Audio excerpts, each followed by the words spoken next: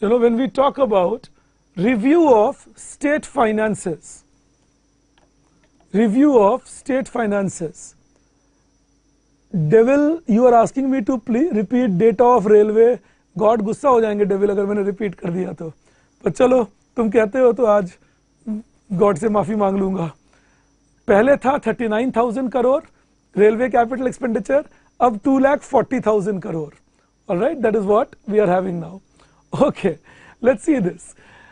नाम इंटरेस्टिंग रखते हो तुम लोग अपना। मैं भी सोचूँगा कुछ ऐसा ही। Let's see this so we say overview of state finances अब देखो इसमें क्या इंपॉर्टेंट है। सेंट्रल गवर्नमेंट के एक्सपेंडिचर तो अपनी जगह इंपॉर्टेंट है। लेकिन अगर स्टेट गवर्नमेंट डिसिप्लिन नहीं रहा तो आपके इकोनॉमी की हालत वहाँ से भी खराब हो सकती है, क्योंकि स्टेट गवर्नमेंट को कहीं ना कहीं से गारंटी सेंट्रल गवर्नमेंट की मिलती है। So it's important that state governments remain disciplined if the state government is not disciplined then that will be a problem uh, you know for long term financing so let's analyze as to where they are first is states have been improving upon their finances post pandemic what is the improvement in 2020-21, 5% of GSDP they borrowed. In 2022, 4%. 2023, 3.5%. This will mean reduced burden on financial markets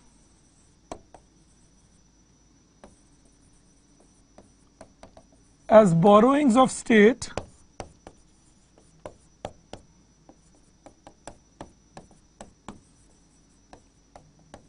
will otherwise result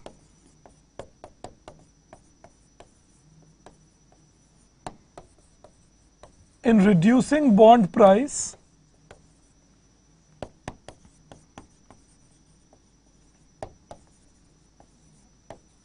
and increasing bond yield leading to crowding out. You know that is one thing that there is reduced burden as financial markets on financial markets. देखो अगर state की borrowing बढ़ी तो state कैसे बोरो करेंगे? Bond issue करेंगे।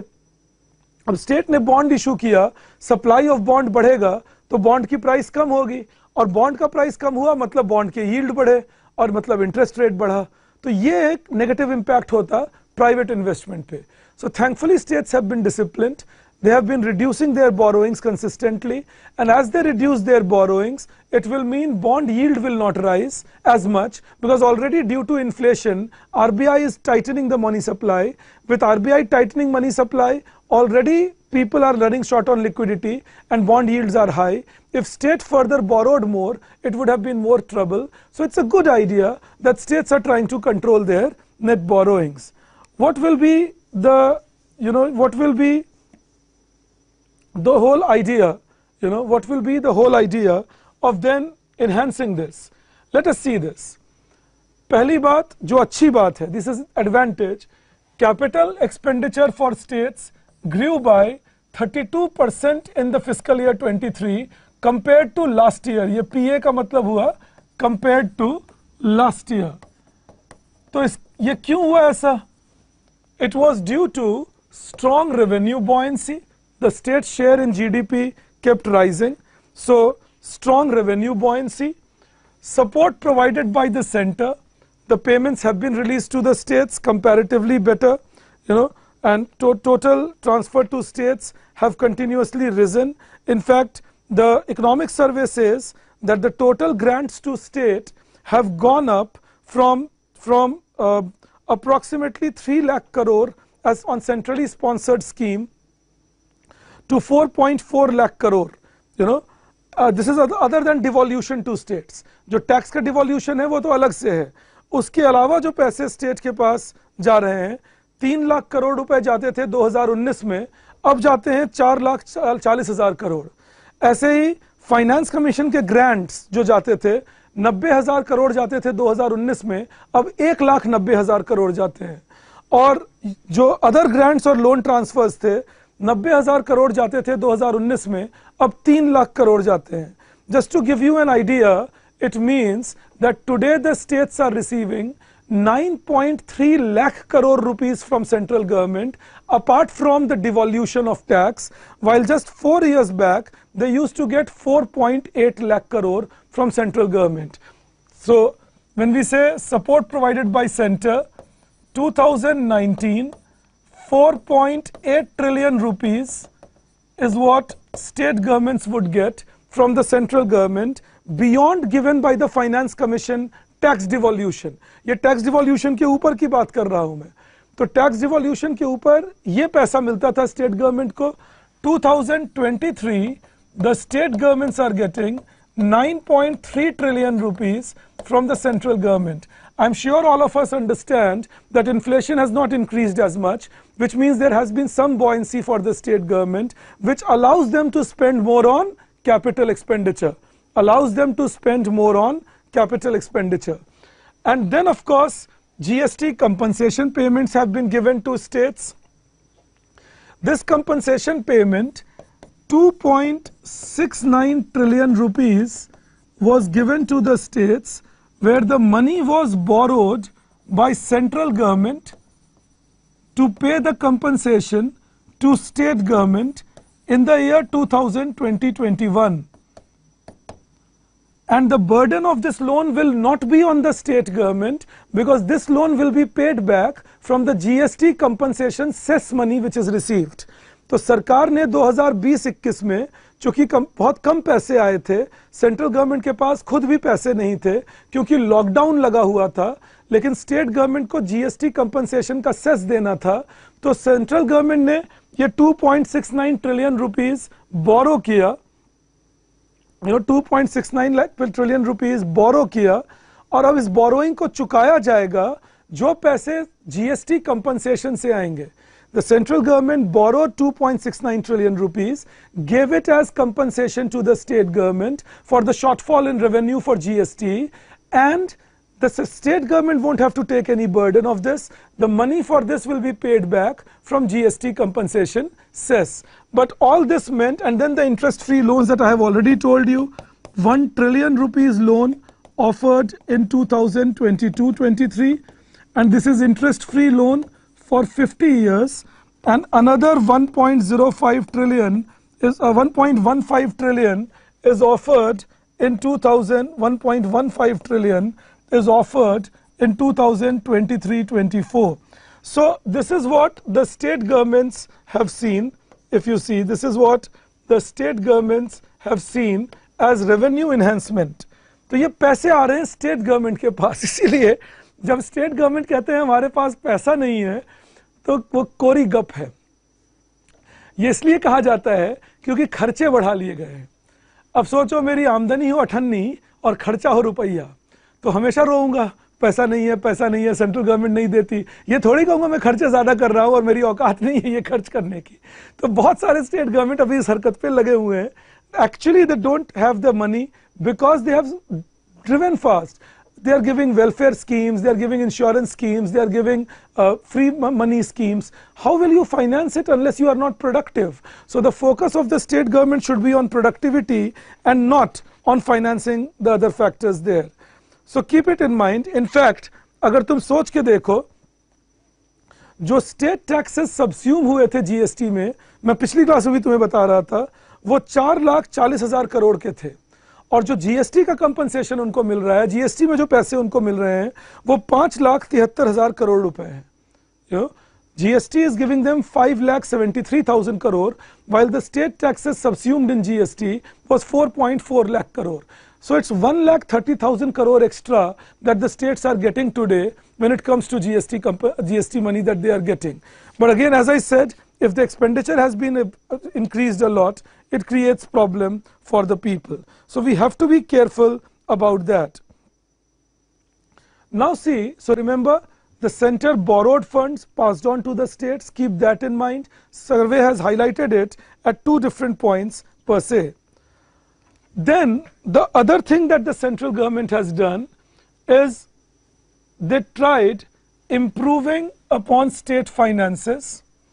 उन्होंने कहा कि transfer from centre to states will happen through share of states in union tax finance commission grant centrally sponsored scheme and other transfers इन चार चीज़ों से स्टेट को ये पैसे मिलते हैं और यही मैं तुम्हें अभी बता रहा था कि share of states in union tax approximately eleven lakh crore and then 9 lakh crore this so 20 lakh crore rupees is what states are getting from the central government that is what we observe in this whole discussion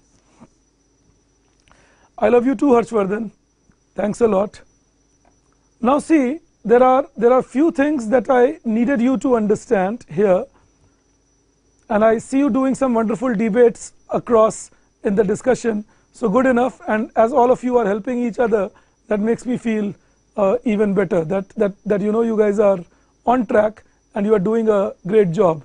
So perfect. Keep it up. Uh, do well. Just make sure that you don't lose track of the discussion because if you lose track of the discussion then we will be in uh, you know trouble. But but great work. You are you are doing well. Perfect. You go ahead. Let's see this then. When we talk about transfers from center to state, one is share of state in union tax, finance commission, CSS and other transfers. So that is what total transfers have increased tremendously in the last 4 years. There is something more that I actually wanted you to see that would help you.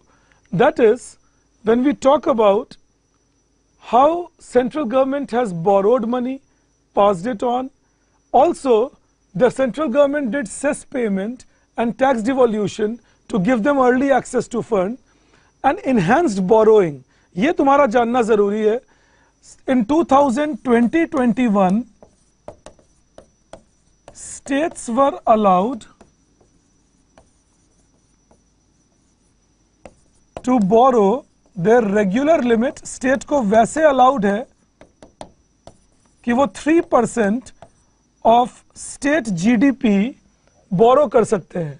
State को वैसे allowed है that states can ये ये नियम कब बना? 2004-5 में।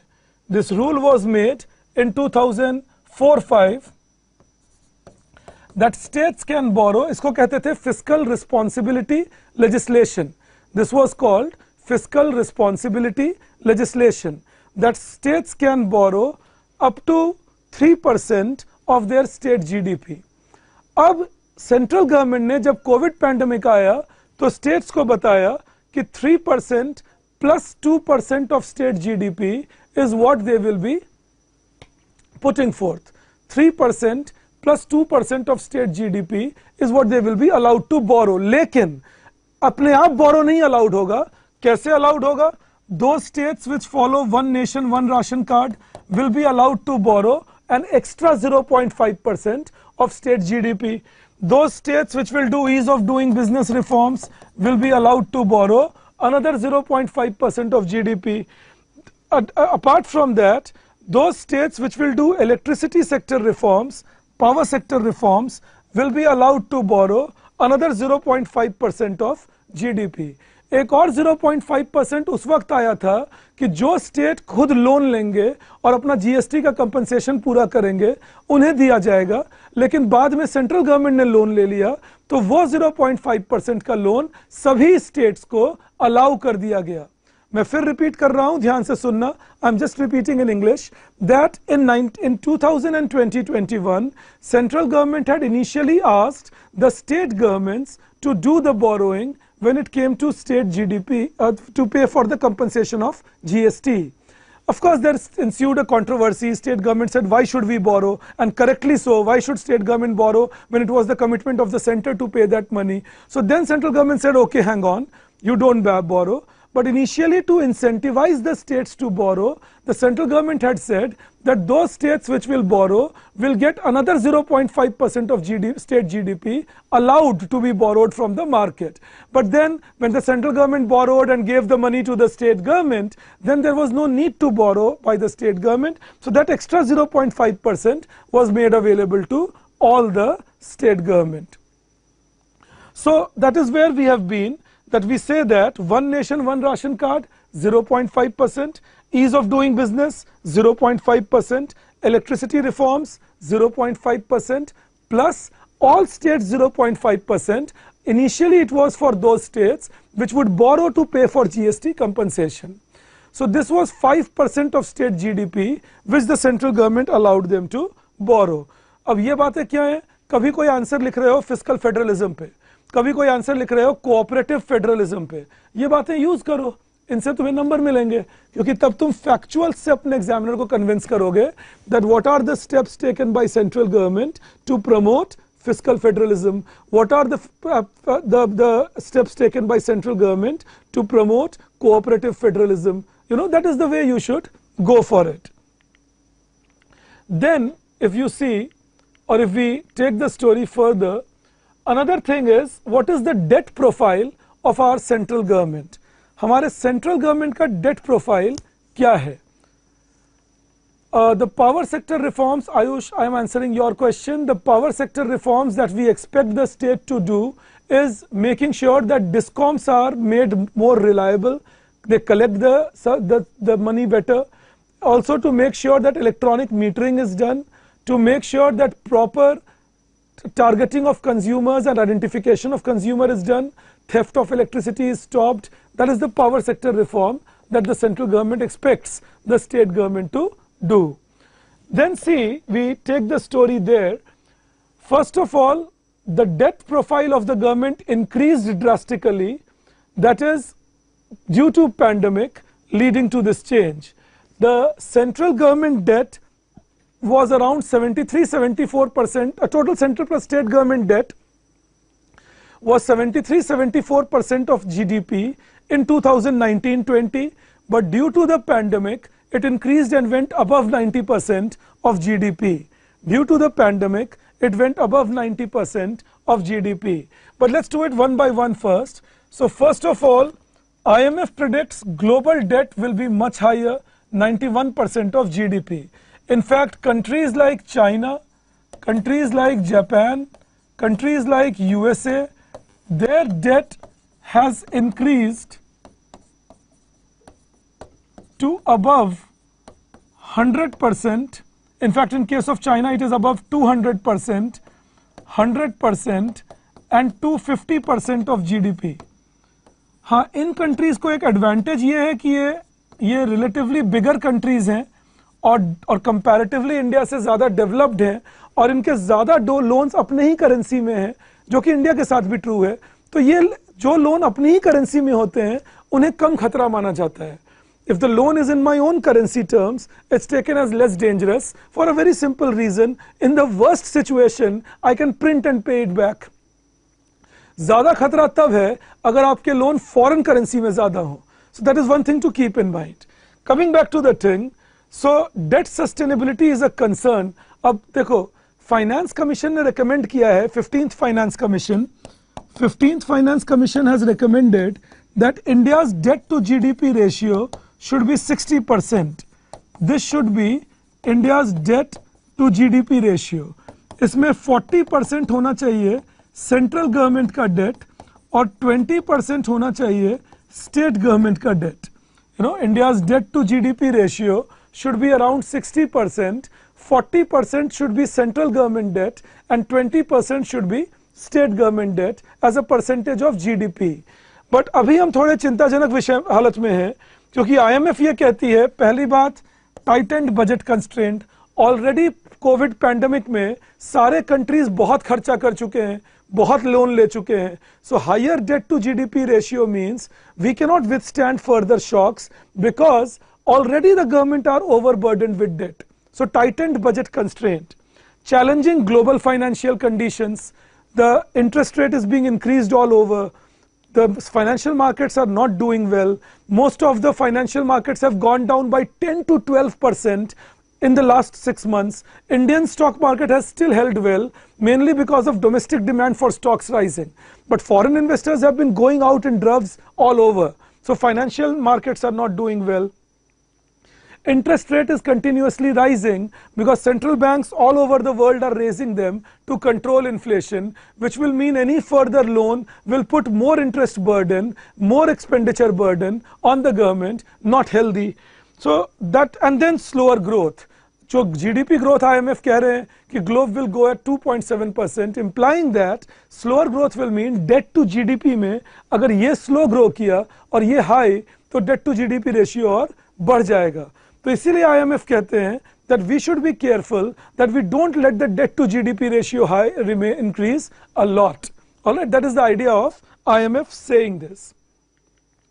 So, in that global backdrop, total liabilities of Union Government of India was relatively stable pre-pandemic, witnessed a spike. As I told you, the debt to GDP ratio of the government was 73 percent in 2019-20. That debt to GDP ratio has come up or went up to 91% in 2020-21 and why did this happen because GDP गिर गया क्योंकि pandemic आ रखा था sharp contraction in GDP 2019-20 में हमारा nominal GDP था 220 trillion rupees और 2020-21 में हमारा नॉमिनल जीडीपी घट के हो गया अराउंड 205 ट्रिलियन रुपीस तो ये हमारे लिए झटका था that this was a big fall for us साथ में fiscal deficit addition to borrowings 2019-20 में थे 6 point sorry 3.8 percent of GDP in 2019-20 और ये फ़िज़िकल डेफिसिट बढ़कर हो गया 9 percent of GDP 9 percent of GDP by 2020-21 तो सोचो लोन बढ़ गए और इनकम घट गई डेट जीडीपी राइज कर गया बहुत ज़्यादा। अब इसको हमने थोड़ा कंट्रोल किया है। In 2023-24 it is expected that our debt to GDP ratio will come to around 83 percent ठीक है? अच्छी बात लेकिन इसमें यह है कि हमारा जो लोन बढ़ने का रेट है वो हमारे नॉमिनल जीडीपी के बढ़ने के रेट से स्लो है the interest rate that we have to pay on our loan is at a lesser value than the GDP growth rate. Our fiscal deficit of center and state is expected to rise by around 9% this year, while, while, while the nominal GDP is expected to grow 11%, 10.5%. So that will bring debt to GDP ratio by another 1.5%. So these are some welcome changes that we are, that we are going here or getting across here. Perfect, thank you, Sahil. Let's see this. तो ये एक अच्छी बात लग रही है कि चलो डेट टू जीडीपी रेशियो थोड़ा कम की तरफ़ शायद दिख जाए। और क्यों बढ़ा ये debt to GDP ratio higher government expenditure जो मैं आपको बता चुका हूँ एंड अनकंस्ट्रेन्ड रेवेन्यूज रेवेन्यू कहाँ से बढ़ेंगे? जीडीपी बढ़ ही नहीं रही थी टैक्स बढ़ नहीं रहा था। तो इसकी वजह से हमारा डेट टू जीडीपी रेशियो बढ़ गया है देश में। Now India public debt is relatively stable क्यों रिलेटिवली स्टेबल है? क्योंकि अभी भी इंडिया का इंटरेस्ट रेट रिलेटिवली लेस है और डोमेस्टिक बोरोइंग ज़्यादा है। 95 percent of government total net liabilities व डोमेस्टिक करेंसी अभी अभी मैं तुम्हें बता रहा था, अगर डोमेस्टिक करेंसी में लोन है तो फिर भी ठीक है। पैसा छाप के दे दोगे वापस। अगर फॉरेन करेंसी में लोन है तो पंगा आता है। तो अभी थोड़ा हम बच गए उस मामले में। Oh, the creditors are mainly the institutions, Upendra. It's not a, petty question. It's actually a very important question. Upendra जो सवाल आप पूछ रहे हैं कि जब सब लोग डेटर हैं तो क्रेडिटर कौन है क्रेडिटर है चाइना क्रेडिटर है institutions like World Bank IMF ये लोग हैं क्रेडिटर और हम लोग सब हैं बोरोअर तो इसीलिए हमें ध्यान रखना पड़ेगा कि जो क्रेडिटर है फाइनली पावर वही वील्ड करेंगे। अमेरिकन इसीलिए क्या करते हैं, सारे लोन डॉलर में दिलवाते हैं कि उनको पता है पैसा छाप के दे देंगे वापस। So that is an important question that you ask if you ask me Upendra. Okay now coming to this so 95 percent of liabilities in domestic currency और जो सोवरेन एक्सटर्नल डेट का मतलब होता है loan taken by government from foreign market ये है sovereign external date सरकार ने जो लोन लिया फॉरेन मार्केट से, वो सिर्फ़ 4.9 परसेंट का है मतलब अगर करेंसी फ्लक्चुएट करती भी है, अगर थोड़े अप्स एंड डाउन होते भी हैं it should not be a worrying factor because even if currency fluctuates even if there is a slight up and down we will be able to pay back the money foreign money, because it's very less as a percentage of total loan. Another thing is that it is entirely from official sources that is from other central bank or other governments so what will that do that will mean market fluctuation will not affect it. That is why insulated from volatility. Since it is from entirely official sources, पूरे के पूरे official source से हैं तो अगर market fluctuate करता भी है इस पर असर नहीं पड़ेगा यह भी एक अच्छी बात है then remember the other thing is that what to do now further इसमें एक बात और समझना कि सेंट्रल गवर्नमेंट के अपने ट्रेंड्स को हमें कंसोलिडेट करना पड़ेगा। कि सेंट्रल गवर्नमेंट अपने ट्रेंड्स कंसोलिडेट करें यह बहुत इंपॉर्टेंट है। कैसे कंसोलिडेट करेंगे?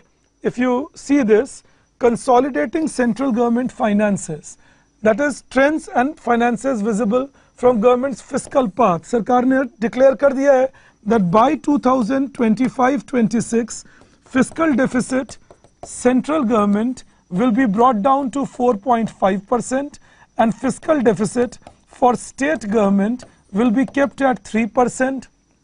That's happy news. Imagine if our nominal GDP grows at 11% and fiscal deficit grows at 7.5% मतलब हम लोन बढ़ाएँगे 7.5% के रेट पे, पर हमारी इनकम बढ़ेगी 11% के रेट पे तो हर साल डेट टू जीडीपी 3.5% से थोड़ा कम होने लग जाएगा। हमारे डेट टू जीडीपी का एक और बेनिफिट है जो हमें हमें मिल रहा है, वो ये है कि हमारी सरकार ने अपने लोन को ज़रूरत से ज़्यादा नहीं बढ़ाया है। अभी भी वो 100 परसेंट के नीचे है जीडीपी के अंदर है और हमारे बर्डन उतने ज़्यादा नहीं बढ़े हैं। Then if you go further this is what is keeping the debt sustainable growth rate interest rate differential keeps the government debt sustainable इसका मतलब क्या हुआ? अगर हमारा ग्रोथ रेट हमारे इंटरेस्ट पेमेंट ऑब्लिगेशन से फास्टर है तो हमारा डेट सस्टेनेबल होगा। क्योंकि लोन का पैसा देने के बाद भी जीडीपी फास्टर रेट पे बढ़ेगा। तो इंपॉर्टेंट क्या है याद रखना? If growth rate of GDP is greater than interest rate increase then debt is sustainable इसे ही पिछले साल का इकोनॉमिक सर्वे आईजीआरडी बोल रहा था। Interest rate growth rate differential इसे उल्टा कर दिया। Growth rate interest rate differential बात बराबर है। But more of the story क्या है? If the growth rate is larger than interest rate then that is from that is from that is from sustainability point of view a success also see then the next thing is the recent economic growth for past fifteen years led to this positive differential which has resulted in keeping sustainability going अब यही हमें उम्मीद करनी है आगे के लिए। अगर आगे भी ऐसे ही इकोनॉमिक ग्रोथ होता रहा तो सस्टेनेबिलिटी मेंटेन रहेगी। That is why you know the key is what think now the key is increasing nominal GDP and how do you increase nominal GDP not by inflation increasing real GDP अपने अगर हम growth को बढ़ाएँ तो हमारा inflation मान लो चार पाँच परसेंट रहा, और GDP growth real GDP eight percent हो गया then twelve thirteen percent nominal GDP growth that's what India should be aiming for